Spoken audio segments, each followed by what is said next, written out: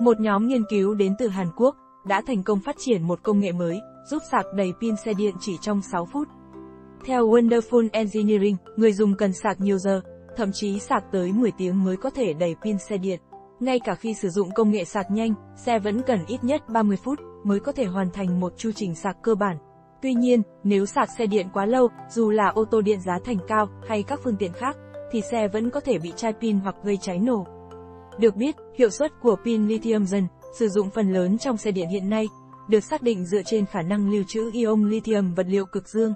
Tuy nhiên, trong một nghiên cứu gần đây, giáo sư Won B. Kim tại Đại học Khoa học và Công nghệ Pohang, POSTCS, Hàn Quốc, đã dẫn dắt một nhóm nghiên cứu và phát triển một vật liệu cực dương mới. Cụ thể, nó có thể giảm đáng kể, thời gian sạc pin xe điện chỉ còn khoảng 6 phút. Chìa khóa cho công nghệ này là việc sử dụng các tấm nano manganese ferrite, được tổng hợp bằng phương pháp tiên tiến, giúp cải thiện dung lượng pin và tốc độ sạc. Kỹ thuật đột phá này đã tạo ra vật liệu mới cho cực dương của pin lithium dần, giúp tăng dung lượng lưu trữ ion lên khoảng 1.5 lần so với giới hạn lý thuyết, từ đó giúp xe điện sạc nhanh chỉ trong 6 phút, hạn chế tình trạng phải sạc xe qua đêm. Theo CITEC Daily, nghiên cứu này đã được công nhận đạt kết quả xuất sắc và được xuất bản trên tạp chí chuyên ngành. Được biết, trong nghiên cứu, nhóm nhà khoa học đến từ Hàn Quốc đã phát minh phương pháp mới để tổng hợp manganese ferrite làm vật liệu chế tạo cực dương. Đây là loại vật liệu có khả năng lưu trữ lithium dần vượt trội và đặc tính sắt từ.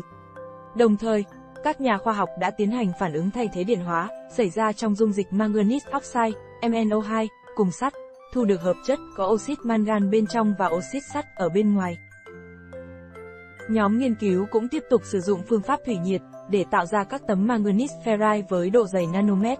Phương pháp này giúp tăng cường khả năng lưu trữ, số lượng lớn vượt trội các ion lithium. Khả năng mở rộng diện tích bề mặt của vật liệu làm cực dương đã tạo điều kiện cho một lượng lớn ion lithium chuyển động đồng thời, từ đó giúp tăng cường tốc độ sạc của pin xe điện. Kết quả thử nghiệm của nhóm nghiên cứu cho thấy, chỉ cần 6 phút là hoàn thành chu trình sạc đầy pin cho một chiếc xe. Đặc biệt, công nghệ mới sẽ không làm suy giảm vòng đời sử dụng của pin. Giáo sư Won B. Kim, người đứng đầu công trình nghiên cứu cho biết, chúng tôi đã phát triển một phương pháp mới, khắc phục những hạn chế điện hóa của vật liệu cực dương thông thường, có khả năng giúp tăng độ bền của pin và giảm đáng kể thời gian sạc lại cho xe điện.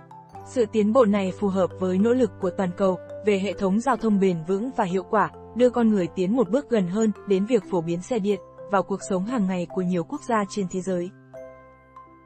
Ông cũng nhấn mạnh, nghiên cứu này của Hàn Quốc được hỗ trợ bởi các chương trình, tổ chức uy tín.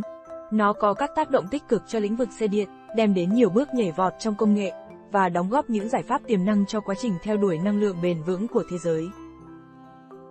Theo Soha, cảm ơn các bạn đã xem bản tin.